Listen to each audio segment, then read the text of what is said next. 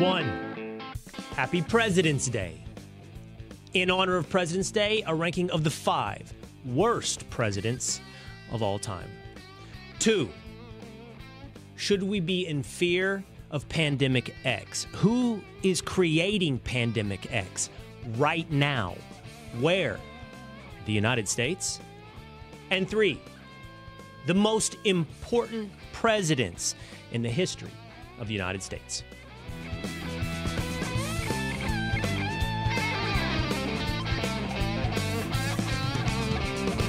It is the Will Cain Show, streaming live at foxnews.com and on the Fox News YouTube channel, always on demand in audio format at Apple, Spotify, or at Fox News Podcast. Just hit subscribe, and the latest episode of the Will Cain Show will show up right there in your feed at Apple or Spotify. And always on demand in video format, both in full and in our exclusive interviews with exclusive content at Will Cain Show on YouTube.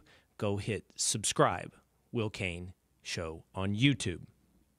Today, coming up on the show, author Tim Barton on his new book, which looks at the building of America, the founding of America, the seven original presidents, the American story, building the Republic. A survey of Washington, Adams, Jefferson, Madison, Monroe, John Quincy Adams, and Andrew Jackson. We'll talk to him about what made those men that helped them make America.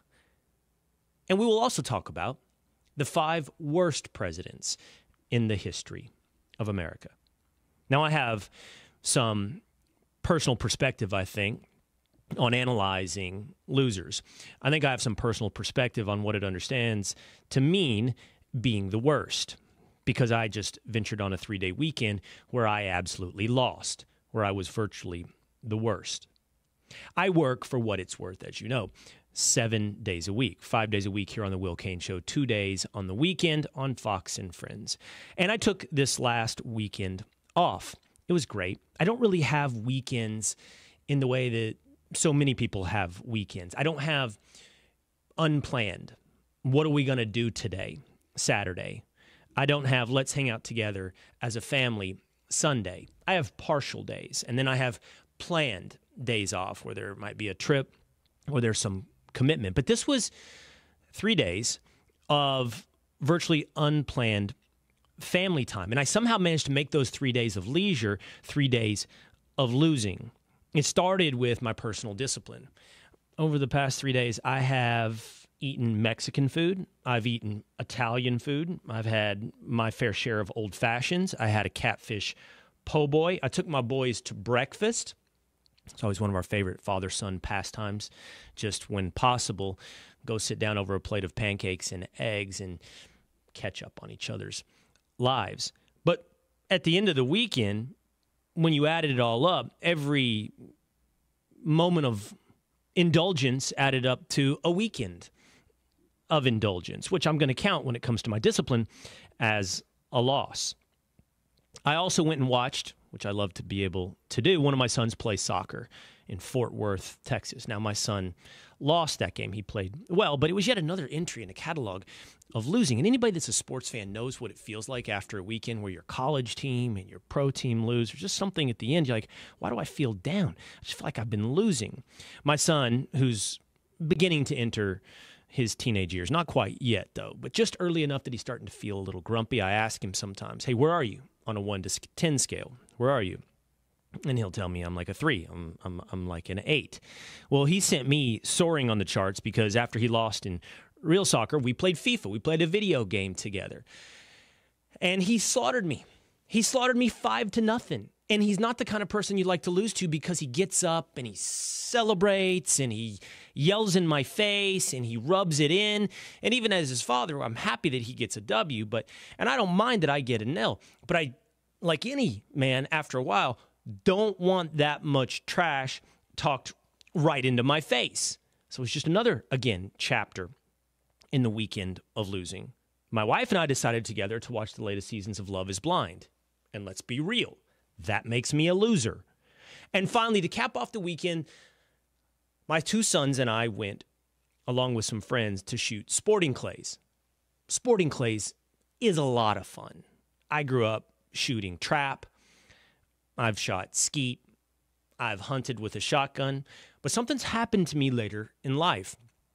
When I went to the doctor to talk about this, I cannot see out of my left eye far away. But my right eye is like an eagle. But up close when reading, my left eye can't see a thing in my right eye, or rather, my left eye can see everything and my right eye is blind. So I've got one eye doing all the work far away and one eye doing all the work up close. And he said, Look, that's what a lot of people ask for when they get LASIK surgery because you don't have to have readers or glasses. And I said, That's great, except I'm left eye dominant when it comes to shooting a gun. So whenever I shoot a gun, I have to look down through the eye that can't see anything far away. So when it came to sporting clays, I slaughtered it on the instinctual ones that are up close, running fast far away or across. But anything that was up against the backdrop of blue sky was an absolute guess. And I got second to last to my youngest son, the 12 year old.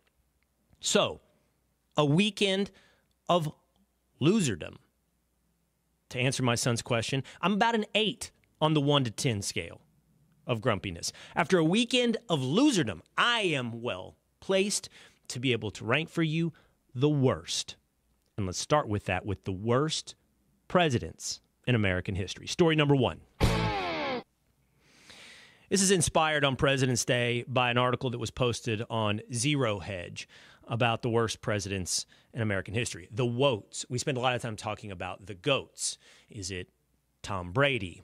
Is it Jack Nicklaus? Is it Tiger Woods? Is it Michael Jordan? Is it LeBron James? We spend a lot of time, I think, appropriately talking about the positive, the accomplished, the greatest of all time. But it might be appropriate, wherein later in this conversation, we're going to talk to author Tim Barton about some of the most important presidents in America, to think about the worst presidents in American history. Now, admittedly, this is somewhat subjective but as you've probably come to expect, I have a rationale. I have a reason for these five entries into the worst presidents in America. First, who did not make the cut, but had to be to some extent considered. Joe Biden did not make the cut of one of the worst presidents in American history. When I analyze the worst, I think in two categories those who made, in my mind, negative fundamental transformation of the United States and those who were incompetent. Joe Biden's future promises to be able to rise very high in the rankings once we've seen the full impact of his presidency and can look back on the present when it is in the past, when it is truly history. I think we're going to see that Joe Biden managed to accomplish both objectives to be both incompetent and transformational negatively transformational. But for now, I think history offers us much worse presidents. And in many ways, I'm a fan of President George W. Bush, but he has to be considered, if for no other reason than the fundamental flaws in the war on terror. The 20 years we spent in Afghanistan, the failure in Iraq, and maybe the biggest transformation we were able to accomplish, which was when our domestic surveillance state by implementing the Patriot Act. I think those things would put him in the conversation. There are other things that I very much appreciate about George W. Bush, but those with a decade or more of hindsight are not good bullet points on your resume as president. But neither of those men made the top five worst. Here are the five worst presidents in American history. Number five, Barack Obama. Barack Obama was fundamentally transformational. When Barack Obama ran for president in 2008 against John McCain, it was really one of the first times where I became more dedicatedly passionate about a politics in America. I had studied the law, went to the University of Texas Law School. I'd voted throughout my life. I had cared. But when he arrived on the scene, Barack Obama, was when I saw the choice that was before America. It was not a choice between the cool and hip versus the old and yesterday. It was a choice between a vision of America that was undoubtedly more socialist versus at the time what we considered to be more conservative. Barack Obama did promise, literally, in his speeches to fundamentally change America. When he passed Obamacare, we thought it would be a fundamental change in the relationship between the individual and the state. In many ways, it has been. It's been possibly, in retrospect, a small step forward on a long march of changing the relationship between the individual and the state, but it was still a step forward, or more appropriately, a step backwards in the true virtuous relationship between the individual and the state. What more, it's just objectively true that we can look at correlation between the races and race relationships in the United States and see that it took a negative downward trend beginning with Obama. A moment that we thought was a time for America to come together in unity, that was a great accomplishment on its surface for America, to America for America to elect a black president, ended up clearly resulting in divisiveness. There are those that say that's because it's a reaction to a black president. But again, the nation elected a black president. It's instead, I think, of the presidency of Barack Obama was the beginning of leaning into your identity, was the beginning of the necessitation of divisiveness, that race essentialism became a virtue. You are black. I am white. Instead of seeking to get beyond our literal superficial differences and find our commonalities, it was the beginning of essentialism, that it's core to our identity and who we are. And I think we can all see from that point forward over the past decade plus, we have arrived at a place of regression when it comes to race relations in America. At number four, James Buchanan among the worst presidents in American history. Now, in my ranking, in my estimation, presidents can arrive as some of the worst presidents in the United States by what they manage to achieve. Achieve that is not a great leap forward for America. James Buchanan, and for that matter, his predecessor, Franklin Pierce, and for that matter, the man that came after Abraham Lincoln, Andrew Johnson, are often characterized by what they could not do. They could not ward off a civil war. Buchanan accepted the Kansas Nebraska Act, which further divided America. He, by some accounts, helped endorse or encourage the Dred Scott decision of the Supreme Court of the United States, pretty much universally considered the worst decision in the history of the United States Supreme Court, held that African Americans could not be citizens of the United States, that they're not people, as in referenced by the United States Constitution. Buchanan didn't do a thing, didn't exert a bit of power, said it was beyond the realm of the federal government to keep states from seceding. Said if they wanted to, as sovereigns, pursue their own future, then that was what they would be able to do. The Civil War resulted in almost a million deaths of Americans. And I think it would have been the job of any president to try to, to at least try to stop an American Civil War. At number three, worst presidents in America, Lyndon Baines Johnson. LBJ is possibly one of the most corrupt men to ever hold office in the United States. He is accused in his home state of Texas, my home state of Texas, of voter fraud, ballot stuffing, dead people voting in alphabetical order when running for lower office in the state of Texas. In the Senate, he's seen as a deal maker, but he's also seen as a man of low moral character. As a president, he called people into the John while he was taking a dump to hold meetings with his staff. But honestly, there's a lot of probably unsavory characters who've been president. LBJ managed to take that personality and reinstitute a vision of America that, again, like Obama, was a step backwards in redefining the relationship with the individual in the state, but he also stood on the shoulders of men who managed much more. First, on LBJ, the Great Society, the War on Poverty, both of which managed to, when it comes to Medicare, and many people appreciate Medicare, but there is no doubt it made the individual more dependent upon the state.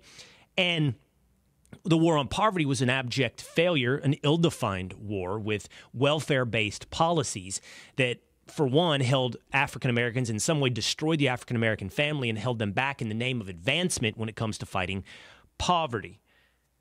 LBJ led and doubled down on a loss in Vietnam. And presidents are often awarded for what they do overseas and ignore what they do domestically. LBJ managed to fail both at home and abroad. But the second worst president in American history is FDR, Franklin Delano Roosevelt. Now, FDR is, in many of the rankings, considered one of the best presidents of all time. And I don't trust any ranking of United States presidents. He's usually given that because of America's victory in World War II. But he's also given that because so many of the writers and historians who look back on history appreciate the not just socialist, but communist vision championed by FDR. FDR is perhaps the most transformational president in American history. LBJ and Barack Obama stood on the shoulders of FDR. Of course, there was the New Deal. He was handed the Great Depression. Most estimates now, like famous author Amity Shlaes, are that he exacerbated the Great Depression, increasing government spending, doubled the federal budget in a matter of years, expanded the size and scope of the government, and none of it pulled us out of the Great Depression. In fact, it hurt, in the name of Shlaes' book, the title, The Forgotten Man, The Working Man. The truth is, the only thing that pulled America out of the Great Depression was World War II. And there are some suggestions and some intelligence he knew of the coming of World War II. But LBJ, within his first 100 days of office, threatened to pack the United States Supreme Court.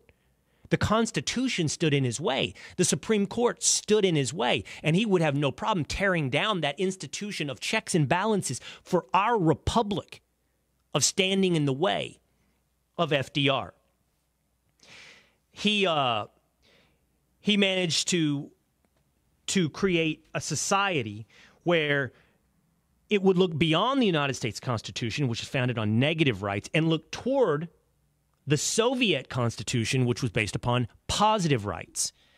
He drafted a document that looked and resembled the Soviet Constitution, where man would have a right to a home, to vacation, to leisure, positive rights, which, by the way, are some of the most insidious concepts in the Natural Rights Clause or the naturalized concept of man, that you have a right to things. Of course, things don't just grow on trees. A right to medicine comes from another man's labor. And if you have a right to his labor, you have reduced him to a slave. But for FDR, positive rights meant a vision of America more similar to that of the Soviet Union.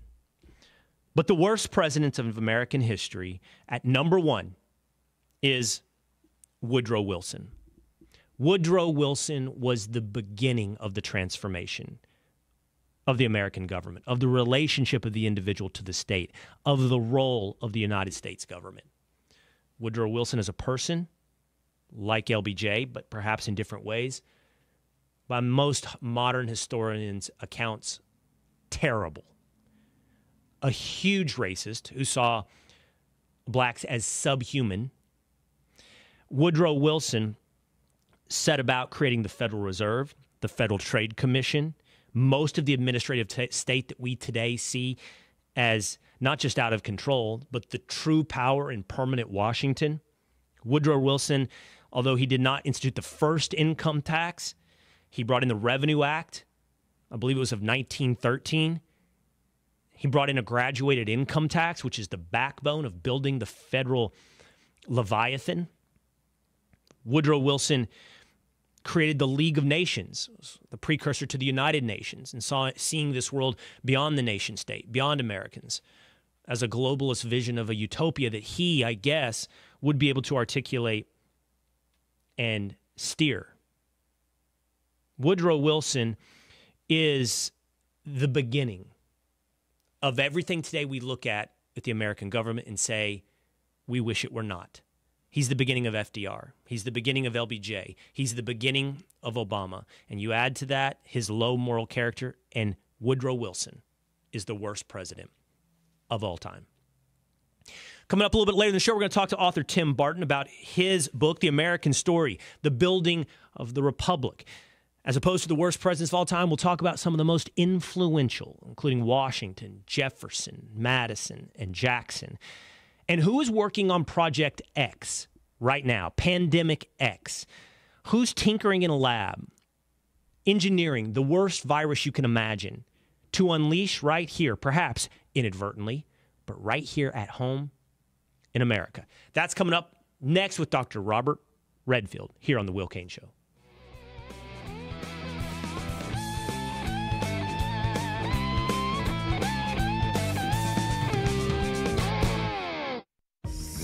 Fox News Podcast Network. I'm Emily Compagno, and this is the Fox True Crime Podcast. And I had nothing to do with her disappearance. I sit down with the people who lived the nightmares. I was in shock. I was just devastated. The investigators who tirelessly worked on the case. And I really hope that they can catch this guy. Bringing you closer to the story than you ever thought possible. Listen and follow now at foxnewspodcasts.com or wherever you get your podcasts. These are the stories that keep you up at night.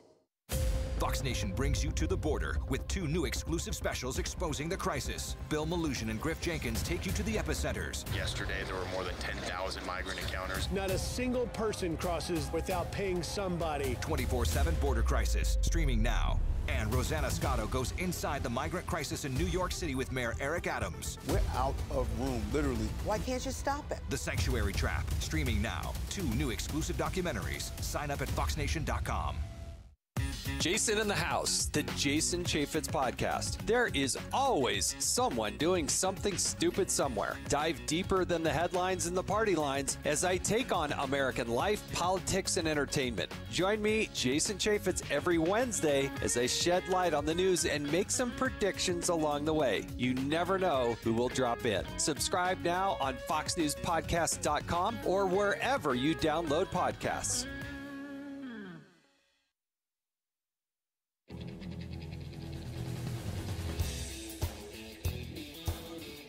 Welcome back to the Will Cain Show, streaming live at foxnews.com and on the Fox News YouTube channel. I posted a poll on my Instagram asking people who the worst presidents of all time were. I only gave them a few options because polls are limited on outlets like Instagram, but I gave them Woodrow Wilson, FDR, Joe Biden, and Barack Obama. Joe Biden, the overwhelming winner at 79% of responses as the worst president of all time. We're often a prisoner of the moment. Recent history more powerful in our lives than distant history, even if we live with the the echoes and the ripple effects of things done long ago, things done a century ago, of things done by Woodrow Wilson. That's not to absolve Joe Biden, just to say didn't quite crack my top five. Who is working on Pandemic X? Is it being experimented on right here at home in the United States. Let's have a conversation about not just gain of function, but the risk to the world of what could be being done right here at home in the U.S. with Dr. Robert Redfield, former director of the CDC, and he joins me now on the Will Cain Show. Dr. Redfield, great to see you. Thanks for having me, Will. Let's start for a moment with COVID this it's suggested that the CDC may be reducing soon the isolation recommendations for people who are diagnosed with COVID. In the beginning, I believe it was 10 days. It's down to five days. States like California and Oregon have reduced it down to 24 hours after a fever breaks. Um, but the CDC may meet in April and reduce their recommendations down from five days. Dr. Redfield, I don't hear anybody talk about COVID in the world anymore. I have no idea how many people have COVID. I don't know if anybody's getting tested for COVID. Everybody gets sick, but I don't know. Does anybody have COVID? COVID's still a major problem. I just uh, uh, got news yesterday. My daughter and, and, their whole household got COVID again. Um, you know, people don't realize that COVID right now remains, if you take out illicit drug use, COVID's the third leading cause of death in America right now. All right, that's a big deal. All right, um, uh, a lot of people don't understand COVID really isn't a lung disease; it's a blood vessel disease, and that's why people that are older are at more risk for bad outcomes. People with hypertension, people with a diabetes. So COVID's a big issue. Um, it will continue to be a big issue, unfortunately, till the end of time. Uh, lucky for us, it's largely uh, not an illness that causes mortality or significant illness in those of us that are under 50 but it is a very significant cause of hospitalization and death in those of us that are over 60, 65, 70. The projection for COVID from the beginning, and I believe this was something that you predicted as well, is that it would arrive at a place of community transmission. Basically, there's not much we can do. Everyone will get COVID. But as it gains more um, contagion, it loses its, as it gains its virality, it loses its mortality, it loses its danger. It becomes weaker and more easily spread. And that kind of goes back to where my anecdotal just living in the world experience seems to be playing out. I mean, I don't know. I don't know anybody who's getting tested anymore. This winter, it felt like a lot of people were sick, but I didn't have anybody say to me, I got COVID. So I don't know if everybody's just declining to get tested, which would make sense if it's dropping in mortality, right? If it's gaining virality but losing mortality, it becomes like a cold. Yeah, I think a lot of people, a lot of testing today is self-administered home testing, and that's really what drives it. There's very not as much uh, what you say public health testing, uh, government-supported testing as there was, say, in the first year of the pandemic. Um, and it, you are, I mean, there's an advantage to knowledge of infection in that you can uh, uh take more steps uh, not to infect other people, particularly because COVID largely in many people doesn't cause any symptoms. So you wouldn't know you had COVID. The only way you would know if is if you actually tested yourself and found out you had COVID. Uh, my grandson right now, he's totally healthy. His mother has COVID, so but they did test him. Of course, now he has COVID. If he was to go to school um, and there was a vulnerable teacher, uh, say a teacher there with diabetes and hypertension that was over the age of 60, uh, he could be a source of uh, infecting that individual. So I think knowledge of infection still matters, but I do agree with you, Will. I don't think it's being done uh, with the rigor that it was done before. And I'm just trying to put our finger on the pulse of the current state of the American public when it comes to COVID.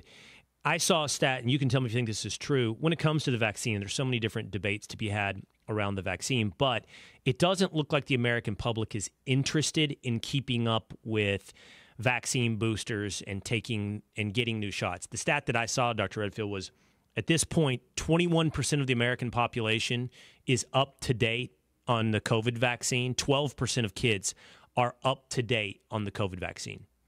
Yeah, I think, well, I think that data is uh, pretty accurate. Um, the the real issue here is, you know, and I said this when I was CDC director, you know, we don't want to promote vaccine hesitancy. I do believe the the push that people had on vaccine mandates, for example, that pushed people and reinforced vaccine hesitancy. I think vaccine hesitancy is at a high. I don't think we positioned the COVID vaccines correctly from the beginning. Uh, I think people gave a false sense of uh, what their capability was. I remember when it first was rolled out, people talked about getting two shots and you were completely vaccinated. Well, you were never completely vaccinated. We knew that this vaccine was going to be non durable and that it would give you protection. People like myself tried to position the vaccine for the vulnerable go after people that are in nursing homes, that are people that are in residential, uh, you know, housing, people that have are over the age of 60. Let's get them vaccinated and let's keep them appropriately vaccinated. This vaccine doesn't last. It's non-durable. Most people, and I'm back in clinical practice again, and and a significant part of my clinical practice is COVID. And I would say uh, many of us probably need probably to be vaccinated at least twice a year to be adequately protected, not against infection. Remember, the vaccine doesn't protect against infection, and that's one of the problems. It, it does protect, though, against serious illness and death. So the vaccine still has a good role, but it shouldn't be um, I think there were a lot of mistakes made early on about overrating the vaccine, not giving credit to natural immunity, mandating the vaccine, having certain people even lose their jobs if they didn't get vaccinated. Those are all big mistakes. And and, now, would hope, and I would, I would imagine it's part of your practice, risk reward. Yeah, we now need people that are highly vulnerable uh, to realize that the vaccine could be life saving. And you know, as I mentioned, most people get cancer screened or heart screened. Those are the first two leading causes of death. Well, COVID now is the third leading cause of death in America. So you ought to take it seriously if you're at risk for death. And that that is those of us that are at risk for death really probably are over the age of 60, over the age of 65, over the age of 70. I don't see the advantage of recurrent immunization of children. This virus doesn't really cause any significant illness in, in young children. And so, you know, I think the lack of that discrimination from the public health uh, messaging to the American public has really confused a lot of people. And I do think you're right. No, I think yeah. the, the consequences of the COVID vaccine messaging, uh, unfortunately, has been a big uh, instrument in, in, in broader vaccine hesitancy against measles, mumps, rubella vaccines in general. And that's unfortunate.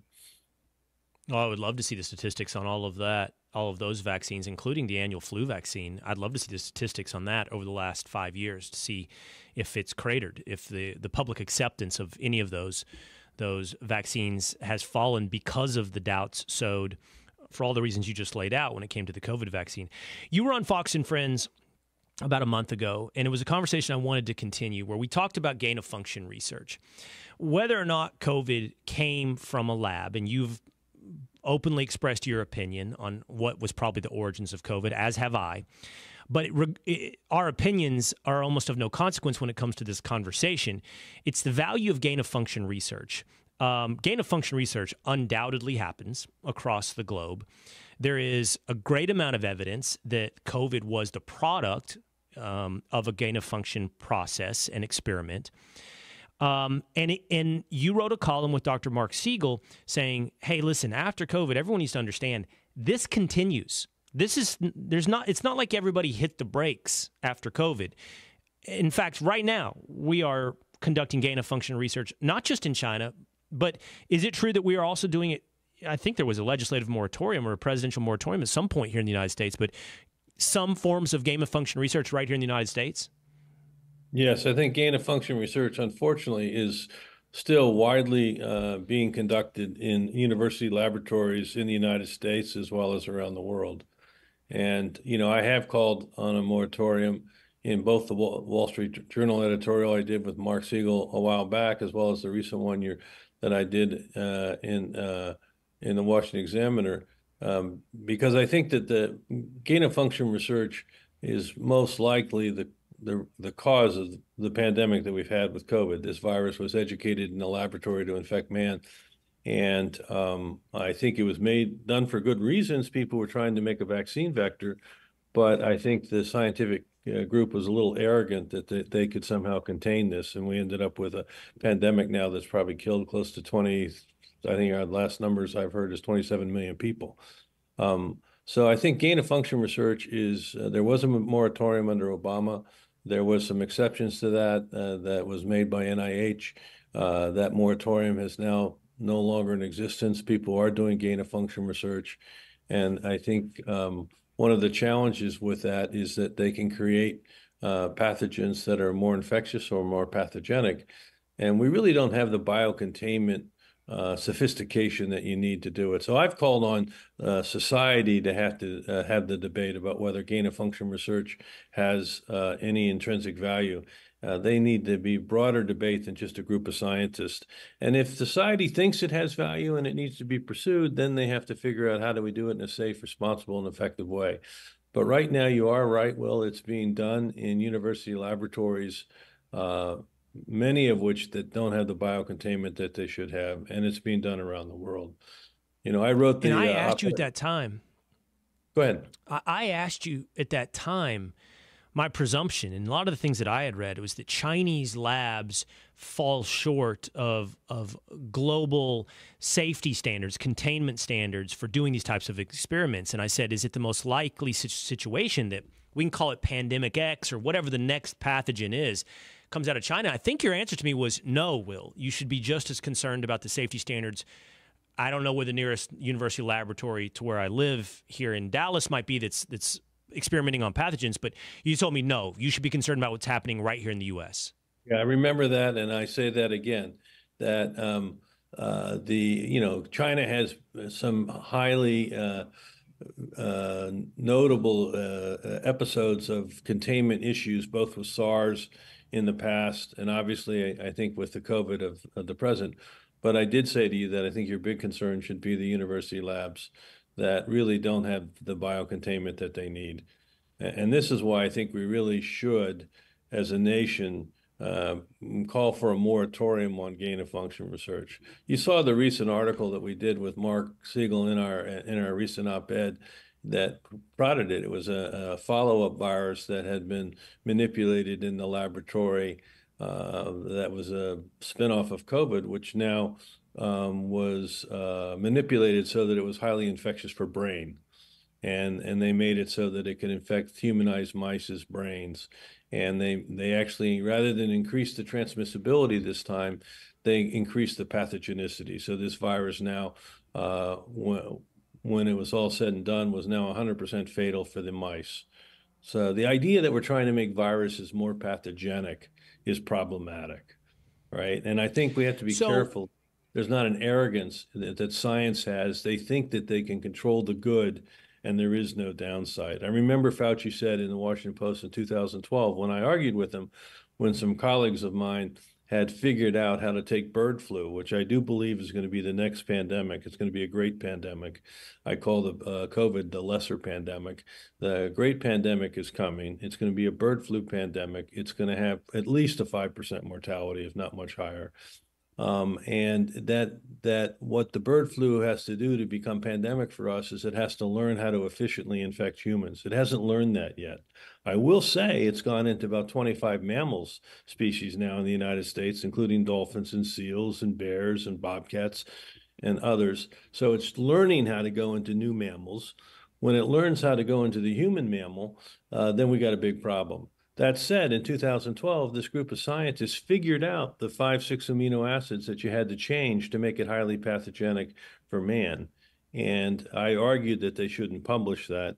Um, they decided it was science, it had to be published. Fauci argued it had to be published. And that's when he wrote that op, uh, piece in the Washington Post that said, you know, if the price of gain of function research is that we have a pandemic, it's worth the price. Well, I don't think it's worth the price. I think we really need to recognize that this is extremely dangerous to try to be manipulating these pathogens in a way outside of nature, and that we can create a pathogen that becomes the source of a major pandemic for the human species, like I do believe COVID was. But I think the next pandemic, which will be a bird flu pandemic, which can come naturally from evolution, uh, but it may take uh, decades, uh, if not centuries.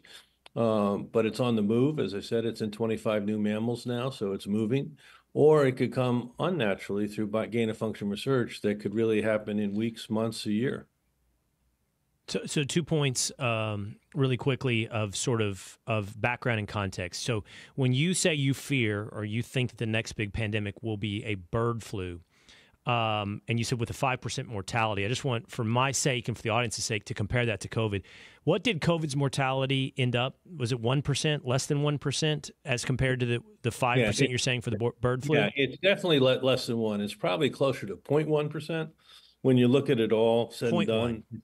Yeah, if you look at all said and done, you'll see things published 1%, less than 1%. But if you really take the whole denominator, because right now, if you look at the United States, we've probably had over, I'd say over 300 million infections in the United States. We'd ha- we've had a mi- little over a million deaths. So that'd be about 0.3% if you went across the board in the US.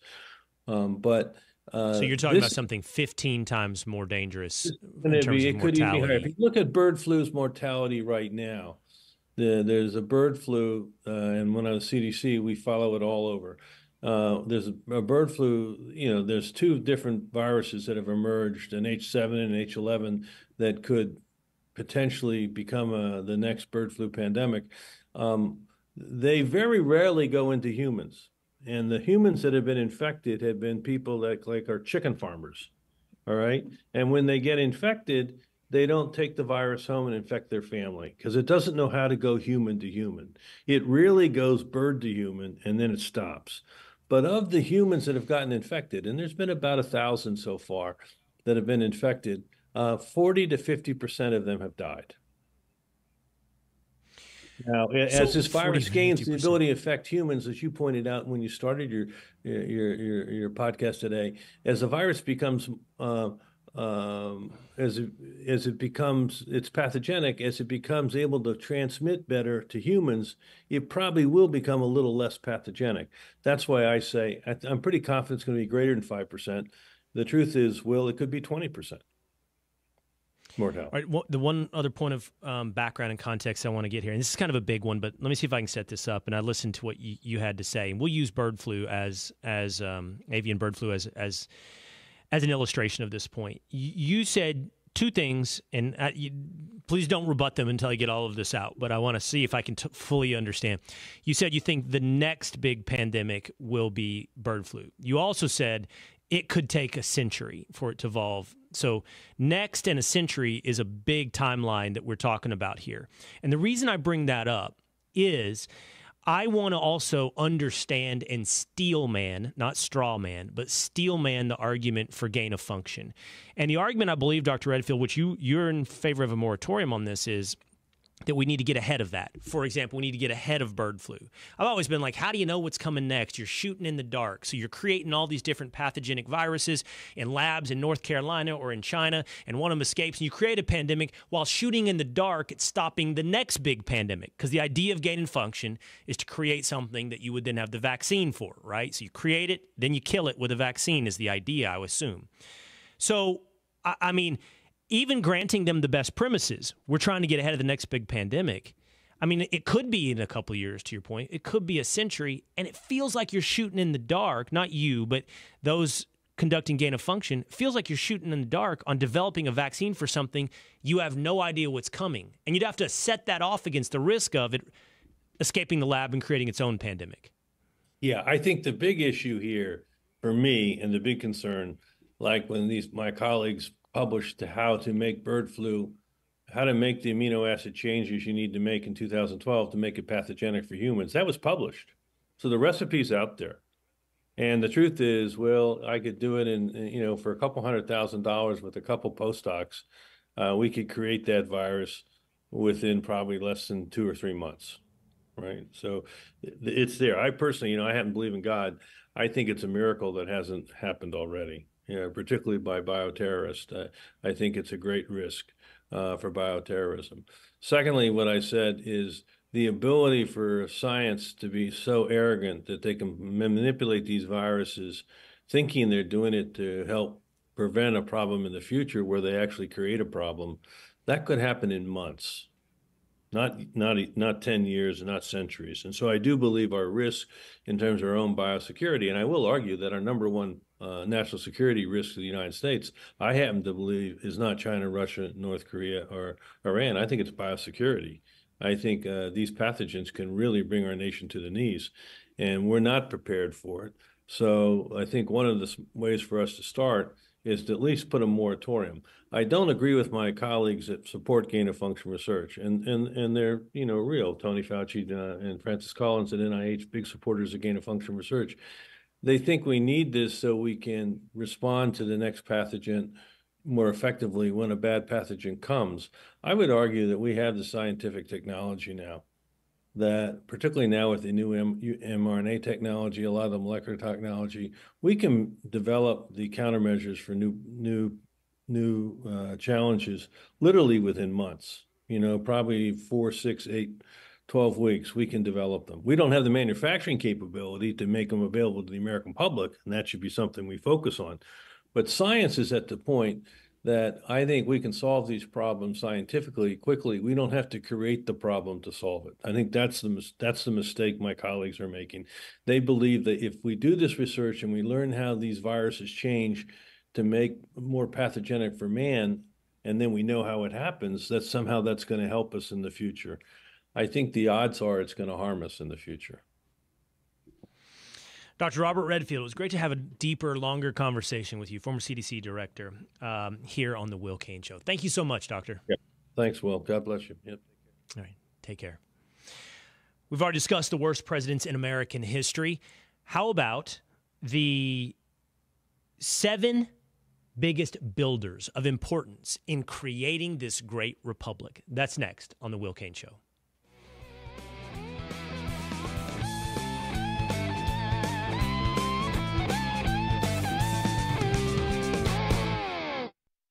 Charles Payne. Listen to my Unstoppable Prosperity podcast so I can get you making money right now. 35 years on Wall Street taught me how to successfully invest in the stock market. In my four part series, I'm going to teach you too. Some of Fox Business's finest join me to help tell my story, impart crucial lessons from my Unstoppable Prosperity book, and to give you the tools to achieve your own financial dreams. Listen anytime, everywhere at foxbusinesspodcast.com or wherever you listen to your favorite podcasts. Fox Weather. We are definitely in the beginning of blizzard conditions. Weathering it together. From bone chilling cold to sketchy snow. With Winter Storm HQ. The winds have whipped. When winter storms strike. This Arctic blast now threatening the Northeast. There's only one team you can count on. We're expecting multiple days of snow. When it's cold outside. Big snow developing across the four corners. Fox Weather turns up the heat. What a storm. Fox Weather is Winter Storm HQ.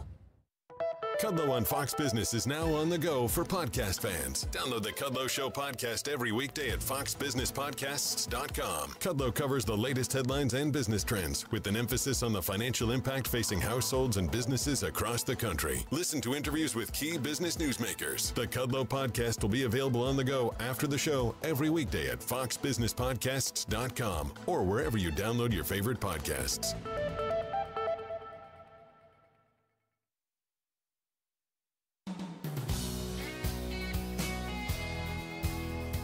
The presidents who built America. It's the Will Cain Show, streaming live at foxnews.com and on demand at the Will Cain Show on YouTube or Apple, Spotify, or a Fox News podcast. We also stream live on Facebook and on YouTube every day at 12 o'clock Eastern Time. We've discussed the worst presidents in American history. What about the historical presidents who built the Republic? Tim Barton is the president of WallBuilders. He's also the author of a new book, The American Story, Building the Republic. And he joins me now here on the Will Cain Show. Hey, Tim. Hey, thanks so much for having me on. Good to be with you. I'm glad to have you on. This new book you have out with your dad uh, focuses in on seven presidents, the first, really, seven presidents of the United States, and how they helped build the Republic. I want to talk about various aspects of each of these men um, and the cultural landscape where they built this American experiment. But what was it about these seven that you found incredibly unique when you survey American presidents? Specifically, all seven of these were involved in the American Revolution. Uh, Andrew Jackson, being the seventh president, uh, he was the youngest. He was a teenager at the time. It was actually, he was too young to legally be a soldier, but he found his way in as a young teenager. Uh, he was a spy for a little while. He was actually captured, was a prisoner of war.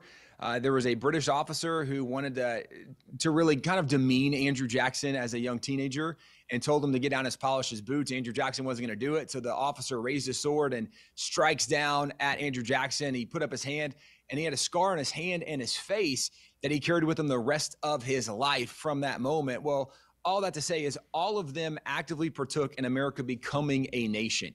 So once you get past Andrew Jackson, none of the other presidents were actively part of America becoming a nation in the American Revolution. So all of these individuals were unique because they all knew the founding fathers. They, they largely knew each other. They had worked together or against each other in some situations. So these are the ones who had the best understanding when we talk about the Constitution and, and maybe how to apply it, how it would work, and maybe how not to do things. They're the ones that had the best perspective.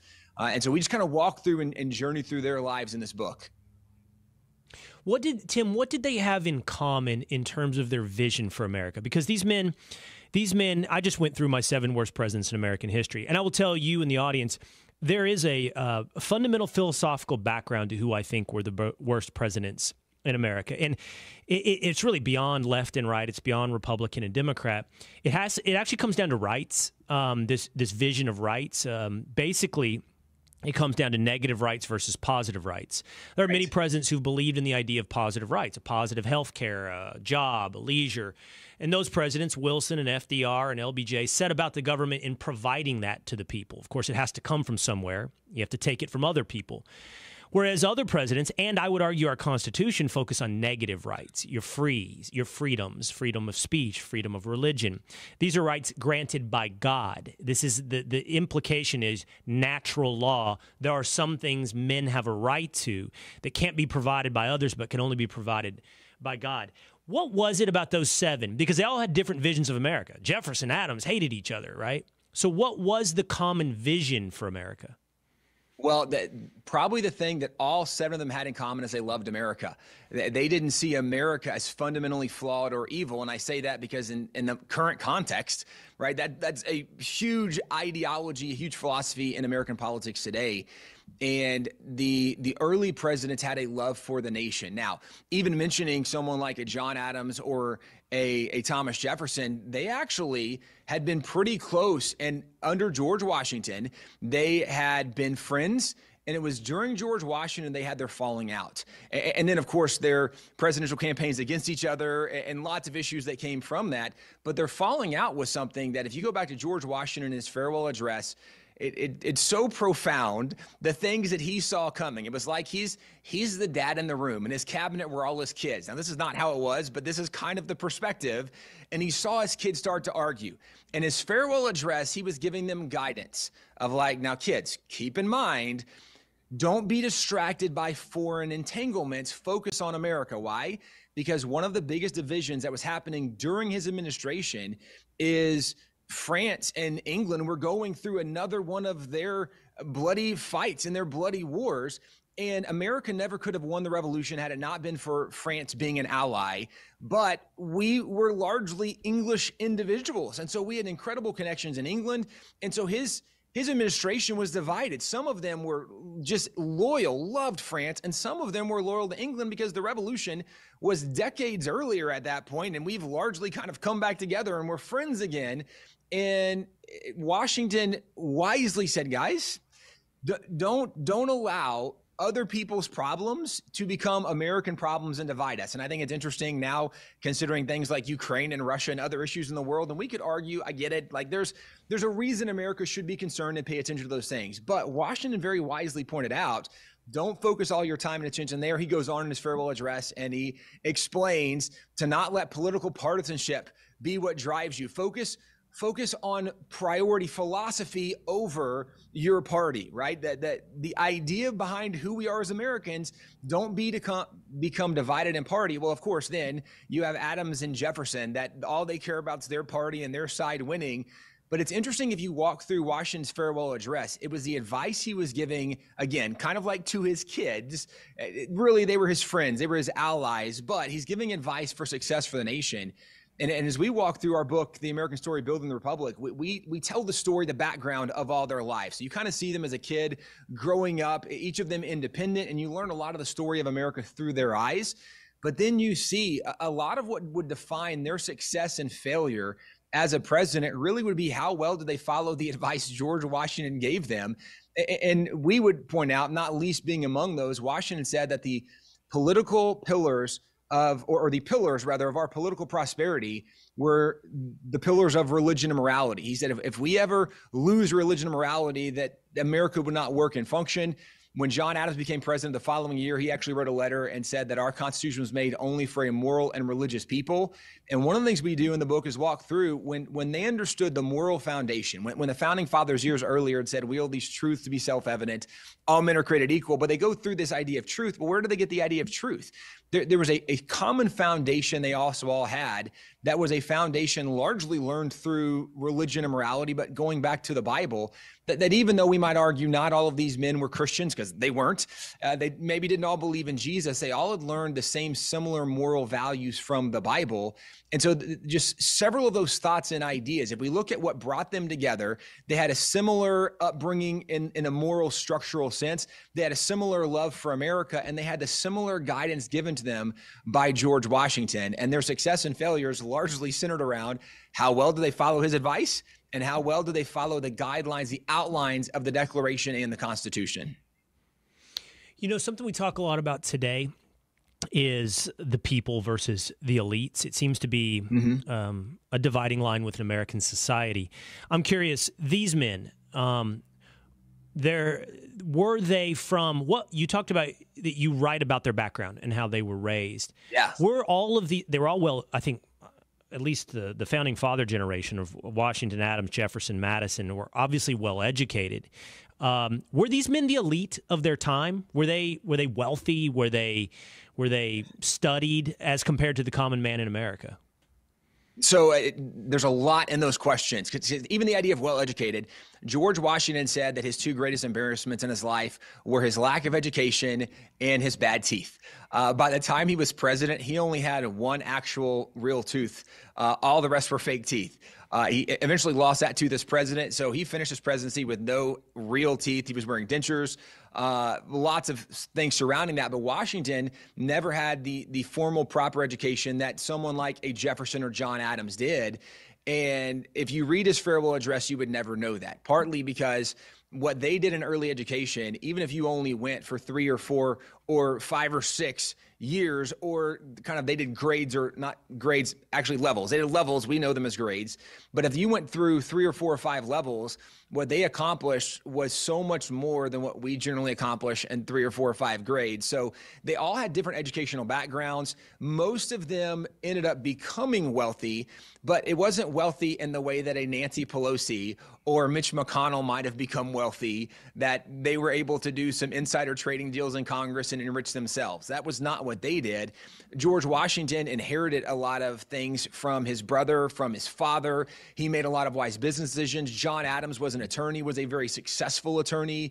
Uh, Jefferson was also someone who inherited a lot, although he had a lot of debt. And so when you go through their lives, they were not a political ruling elite. The reason they were chosen initially early on, eh, going back maybe even for many of them to like the Continental Congress, the reason leaders were chosen is because of their character, because of of their ability to stand and maybe clearly articulate, maybe clearly write something, but having the courage and boldness to stand up if you go back, for example, kind of more founding era, a guy like Sam Adams is, is, a really fun guy to think about.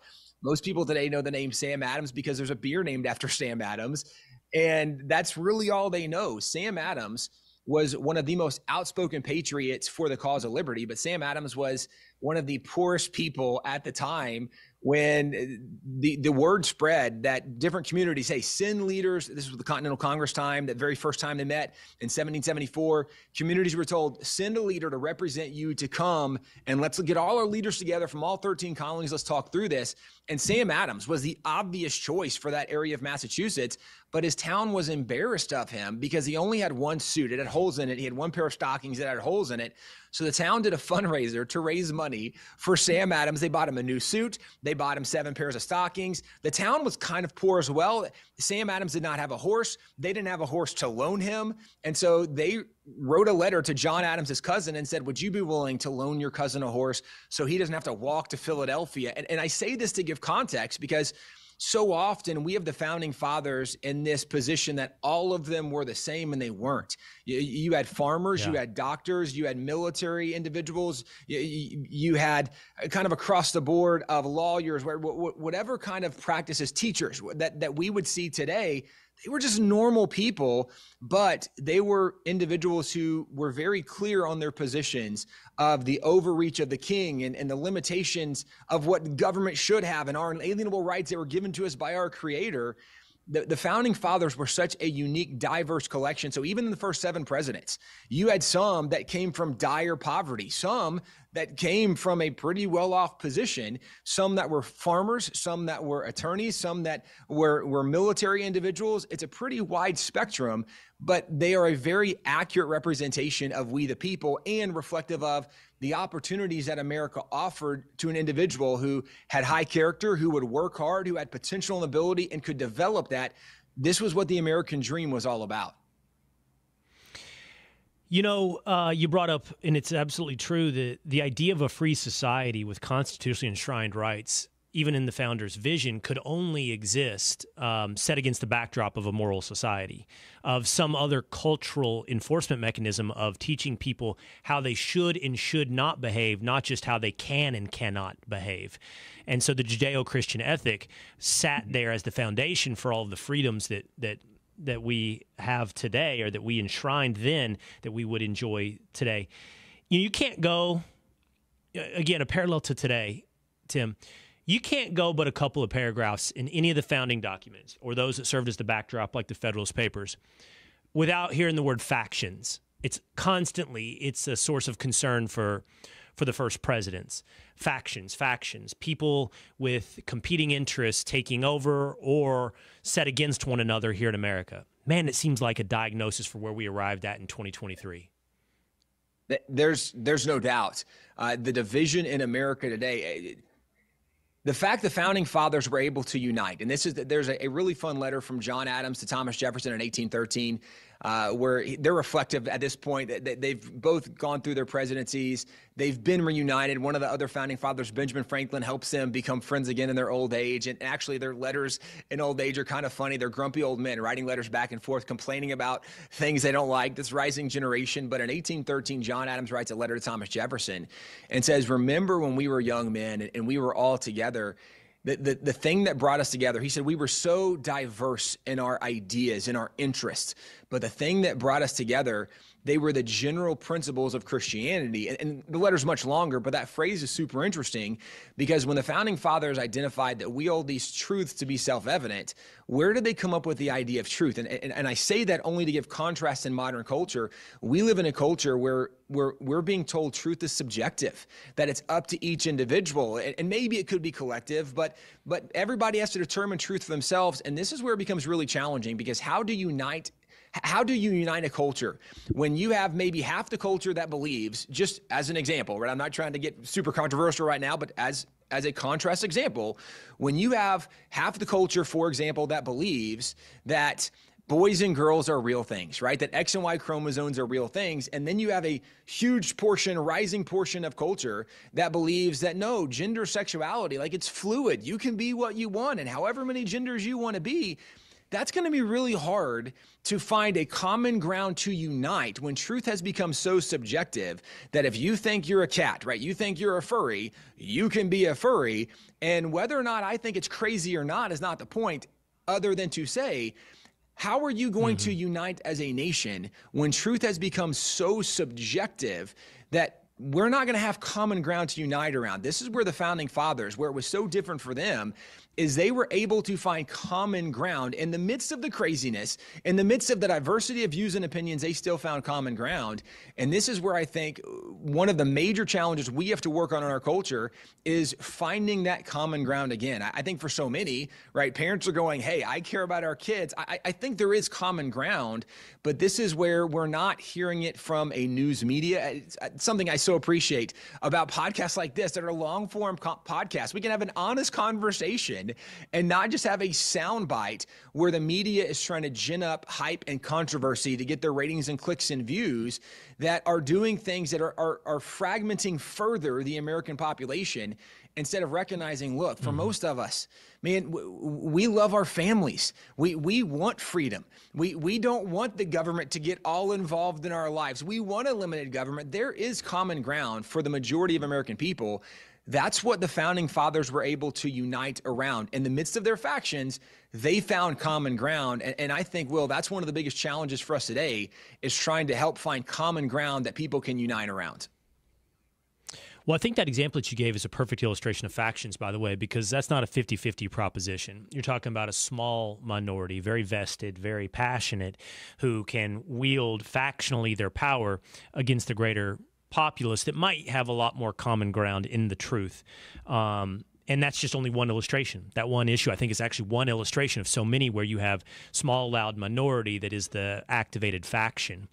Uh, last thing I'd love to ask you is this. So, you know, it's kind of I want to give. I've always liked Jefferson because, uh, well, one, I like his, you know, I like his federalist vision of, or, or rather, not federalist vision, but his federalism vision of yes. America. I like the I like the um, idea of of small sovereign, you know, communities where you build your vision of America and then come together for national defense, as opposed to the Hamiltonian or Adams vision of a more strong centralized government. Um, and I think Madison doesn't get near enough attention. I think Madison was a genius. Um, but I keep going back, and it's like why I won't root for the New York Yankees. It's like okay, everybody talks about Washington. Let me think about Madison. Let me think about Jefferson. But sooner or later, you got to recognize that the Yankees are actually great, you know, and, and Washington is phenomenal. And yeah. what you described earlier eh, you know, he easily could have been king. And it's hard for any of us to live back in that moment or that time or be that man and know, wow, this guy turned it all down and actually set the stage. As much as the founding documents, the execution of the founding documents set the stage for what would become really the most successful revolution in, Amer- in, in human history. Um, when you look at all of these guys, then, Tim, and you kind of started about this earlier, let's apply it to today. What did they have that we need today in a leader? That is probably the most important question. And really, that's something we dive into in our book is when we look back, it's easy, as you mentioned, to think of George Washington as, man, this incredible person. And I say that in the context knowing that there's people today in cancel culture that want to cancel him. And it's one of the reasons that as we go through our book, we have more than a thousand footnotes in our book because we want people to know that the things we're suggesting is not just a, a perspective that right in, in, modern academics a professor might say hey i have a phd that's my credentials you need to believe what i say. And we're we would go the exact opposite direction. We would say please don't just take our word for it. Go back and read this document. Read what they actually wrote because there's so many things we believe about these individuals that are not historically grounded that are not historically accurate but it's become the modern narrative. And like so many lies if you repeat it long enough and loud enough people believe it. And if you go back to their leadership ideas jefferson is such a great example, his position was that the federal government should only do for people what they cannot do for themselves. And even more specifically, in the Constitution, there are specific enumerated powers that are the federal government's power. Beyond that, you have in the Bill of Rights, you have the Ninth and Tenth Amendment. The Ninth Amendment says that there are more rights that belong to the people than just what's identified earlier in the Bill of Rights. Uh, and the Tenth Amendment says that anything not specifically given to the federal government in the U.S. Constitution belongs to the states when Jefferson was president, that's the way he ran his presidency. There were certain things he said the federal government can't do that. And people were going, You have to do it. He said, Nope, we can't do it. It's not in the Constitution. And the Constitution is what tells us exactly what we can and can't do. This is so different from the notion of we have a pen and a phone. These were people that were yeah. grounded in moral truth, that limited often themselves to the Constitution. And we do in our book, we go through and and, and we try to tell the honest story where there's there's good, bad, and ugly in people's lives, right? Every one of us, we're not perfect people. We have good moments, and sometimes we have really bad moments. And for some people, their good moments are far more significant, far more outshining their bad moments. And some, it's the opposite. And I think if you look at someone, for example, like a Jackson, where Jackson, this amazing leader, up until really he becomes president, and then he begins to do things that begin to trample on the rights of individuals and, and, he begins to do things that are so partisan he he made the post office a cabinet level position he took somebody that was one of his political advisors puts him in charge of the post office and he tells them that they don't have to deliver any mail that is sent by abolitionists he gives the post office full authority to start censoring the mail. And there's very famous hmm. pictures and stories from that time of different people that worked for the post office that were throwing or ripping or burning mail from abolitionists that were promoting the idea of how evil slavery was. Jackson was a guy who went a very different direction. And so uh, in our book, we try to go back and point out when our nation was the strongest is when there were people who were our leaders who had a moral compass outlined for them from the ideas of the Bible, because frankly, I would argue there's no greater moral teacher than Jesus, no, no better morals outlined than those in the Bible, and those who limited themselves by the Constitution and knew the federal government's job is limited according to the Constitution. The federal government's only supposed to do very specific things enumerated in the Constitution, and the government really the idea from the founding fathers the Declaration, they said that to secure these rights, to secure our God given rights, governments are instituted among men, Government exists to protect American citizens, to protect their rights, to protect our ability to function, to thrive, to have a job, to raise families, to do business. The government shouldn't be micromanaging, interfering in our lives, taking all of our money. They've lost that idea. So we would encourage the kind of leaders we need are those that have a moral foundation rooted probably in the Bible and Scripture, and those that understand the Constitution. If we could restore those two things, America would be a far better place. The American story building the republic. Wonderful answer there on the type of leader that we should search for based upon those that we had to create this great experiment of the United States of America. Tim Barton, thanks so much for being with us here on the Will Cain Show. Well, thanks so much for having me on. I appreciate it. All right, check it out. The American Story Building the Republic. It's on sale now. All right, that's going to do it for me today. Tomorrow, we have an interesting conversation deep on the economy with Dr. Peter St. Onge right here on The Will Cain Show. Go hit subscribe on YouTube or on your podcast provider and get The Will Cain Show whenever and however you like. I will see you again next time.